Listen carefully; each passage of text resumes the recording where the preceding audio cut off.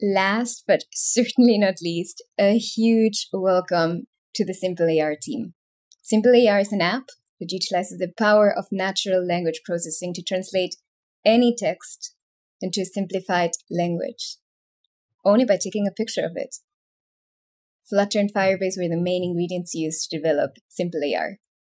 Let's please give a warm, warm welcome to the creators, Almo, Maria, Sami, and Viviana from the Technical University of Munich in Germany.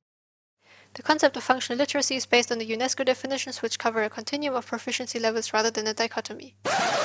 You didn't understand the meaning of the sentence? Functional illiteracy, the inability to understand text on more than a basic level, is the reality for one in seven people worldwide. Among others, one common cause is intellectual disabilities.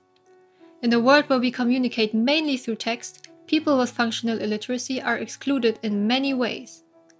UN Goal 10.3 specifically states to empower and promote inclusion of all, including people with disabilities. When talking to experts, we learned that there are simplified language frameworks that help with functional illiteracy. However, these texts are translated by hand, so only very few texts are made accessible. This is where SimplAR comes in. We are using the power of natural language processing to automatically translate any text for functional illiterate people. When first opening the app, the user is introduced into the W3C verified disability friendly UI. In our Flutter app, the user can scan any text. Firebase ML extracts the text and sends it to our backend hosted by Google Cloud. The backend uses a mix of GPT-3 and our own machine learning models to process the text into a simpler version. The simplified text is returned to the client, which then shows it as an AR overlay. Some texts are so complicated that an AR overlay would be unreadable. In this case, we open a new screen with the plain language text and supporting images, as recommended by the Plain Language Framework. Using SimplAR, functional literate people can understand any text in any medium independently. And we can have a more inclusive world.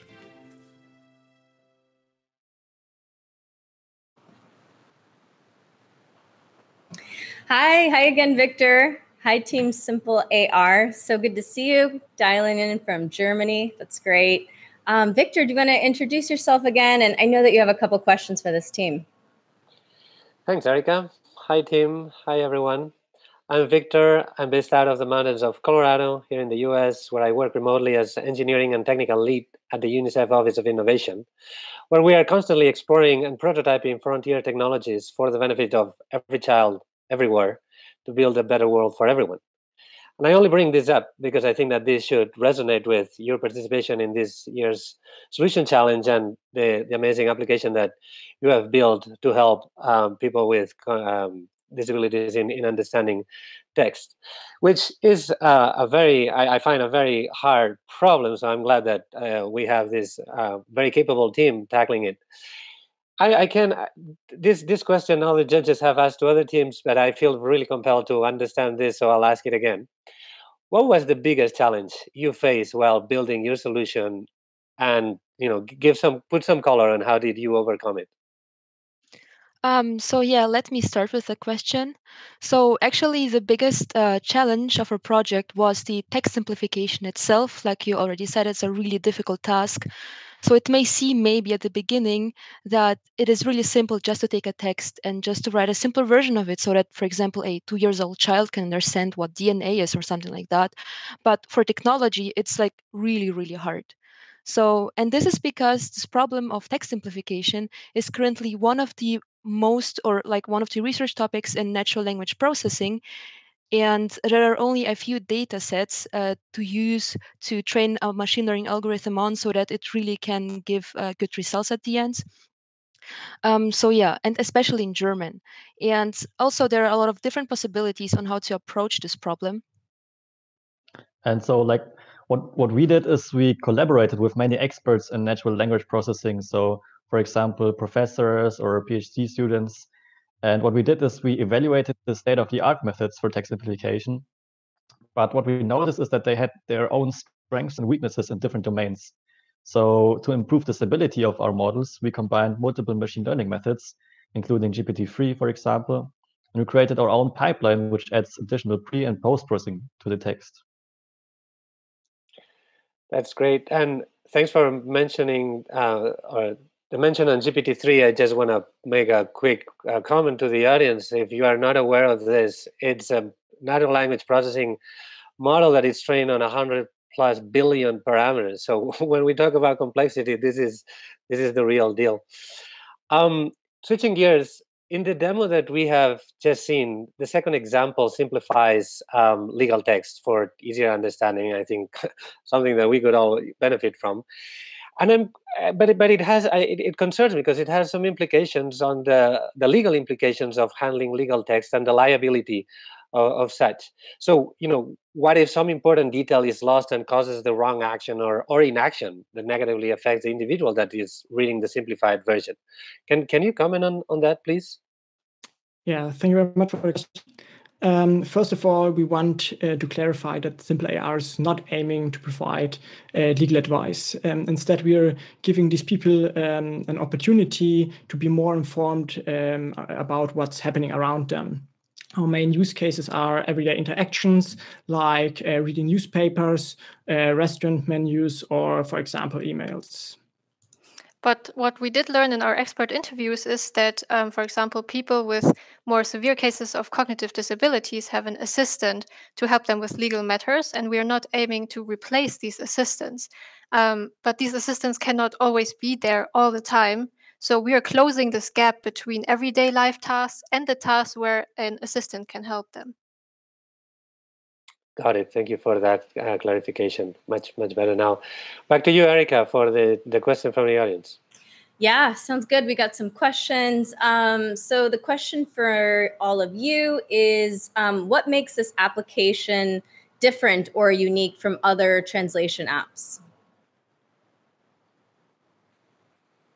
Sure. So I can start with the with the answer. So uh, what our app does is it doesn't translate, for example, from English to German, for example. What it does, it, it simplifies the language. So, for example, if there's a like a really complex sentence, like for example from Wikipedia, and um, there are many people who can't understand this, especially people with disabilities. So uh, what we do is we make these texts more accessible for those people by simplifying these words, for example, using different techniques, for example, um, lexical, lexical simplification by re replacing difficult words, or, for example, restructuring the sentences into shorter sentences, making them all more simple, and also providing a really intuitive UI, uh, providing more images for them. So what we do is we make text more accessible for people. Yeah, and I also want to add that um, we also mainly focus on texts in physical form, not in internet form, but like in physical form, like um, some of us already mentioned, for example, newspaper, or if you get a letter from some, I don't know, insurance company or something, like we get it a lot in Germany. So um, it's pretty easy to just you know take the text type it down somewhere in google and simplify it to a simpler version. So with our app you can just take a photo and you get the simplified text on screen or like with photos like alma already mentioned. That's great. Thank you. Um, victor did you have any final comments yeah, just building on what Maria said, I think that we get uh, letters from the insurance companies everywhere in the world, unfortunately, and they are never good news. So I think we could all get some help with those. Um, thank you very much for tackling this problem. Uh, jokes aside, I think it is a very uh, important problem that has been unaddressed for a long time. So I'm glad that you are tackling it now. Um, best of luck. Thanks so much. And to the audience, if this was your favorite team, you all have about two more minutes left to vote. So please do vote um, for SimplAR or any team that's your favorite right now at slido.com. And we all know the code is GDSC21. So thank you so much, uh, SimplAR team. So good to learn more about your project. And thank you, Victor. Good to see you. Good to see you too. Bye, everyone. Bye. Great. So, thank you all so much for sticking with us for the last couple of hours. We do still have announcements, so do not leave the live stream yet. We haven't heard yet who the top three winners are, the People's Choice Award. So, get ready. Um, but first, what did you all think about the demos? Add in the chat. Let us know what you thought.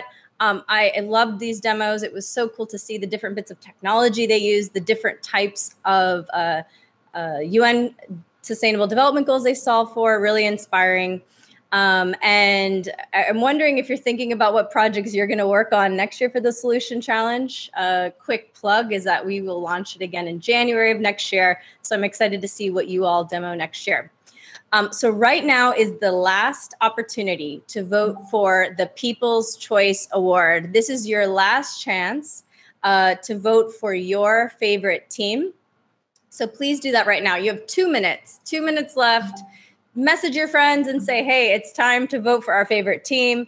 Um, which team resonated with you? Is there a, a, project that inspired you? Maybe you live in the same country as the folks on this team. Whatever your reasoning is, vote for your favorite. You have two minutes left, and you go to slido.com, enter the code GDSC21, or you can scan the following QR code and, and vote right now. So you have two minutes, you're on the clock. And what are we going to do in the next two minutes? Um, I'll share that right now. So, before we announce the People's Choice Award and the top three winners, um, we wanted to share a few tips and best practices from the students that you've heard from today on how to develop solutions. So I hope that you it will help you as you work on your projects, hopefully for the solution challenge next year. Um, but these are some great tips. So let's play that video. Let's check out the tips.